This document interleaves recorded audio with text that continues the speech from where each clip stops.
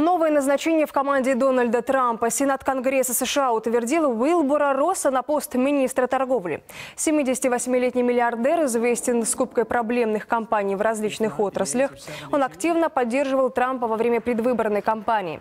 К слову, ряд демократов выступали против его назначения. Новый президент поставил перед Россом задачу добиться заключения честных соглашений и сокращения торгового дефицита с Китаем и Мексикой.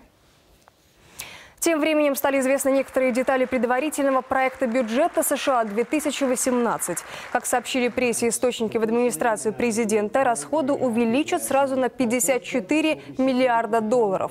В этом году Минобороны Штатов получила свыше 600 миллиардов. Стремление повысить расходы Белый дом объясняет желанием уделить особое внимание национальной безопасности. Подробнее о финансовых планах Трамп расскажет в своем обращении к Конгрессу уже сегодня вечером.